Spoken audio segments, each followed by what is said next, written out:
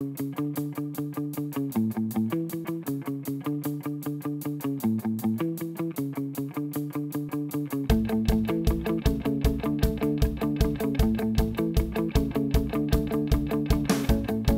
was drawn to it like moth to a flame. I saw it and I had to come and worship at it. It came about from our want to share our knowledge of the second seal in relation to our product LMA Supreme with the wider audience and the trouble is with the second seal is the seal with the upper esophageal sphincter. So that's quite deep in the anatomy, so trying to show that in an effective way is quite difficult. They can't see the second seal. It's this kind of concept that's, that's not necessarily known to people. So being able to see it in huge scale helps their understanding. We wanted to bring it right out and visible. And if we're going to do that, we may as well make it as big as possible. So we had a, a nutty idea. There's a thousand hours work gone into this. There's over 500 kilos of resin, 60 kilos of paint. There's 174 square meters of fiberglass.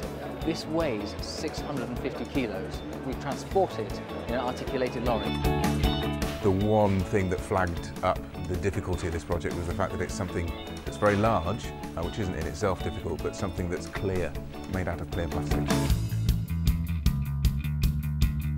We will tackle the weird and wonderful projects that people throw at us. So this to us is just another one of those weird and wonderful projects.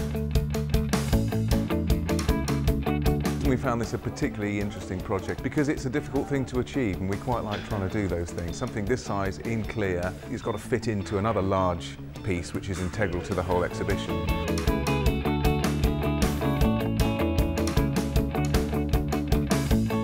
Fantastic. We've had people taking photos, we've had groups of doc doctors arms around each other all taking photos in front of it. So it's been really, really great. A lot of people want it to go to other countries, to the US, to China, to, to other areas of the world and to other congresses. So hopefully it will really send the message out about being able to use LMA Supreme in, in more advanced procedures because it has an effective second seal. It's the world's largest anatomical head with the world's largest laryngeal mask airway inside it. They can actually show the second seal linking in with the upper esophageal sphincter. They can see the first seal linking in with the trachea. And it's just right there.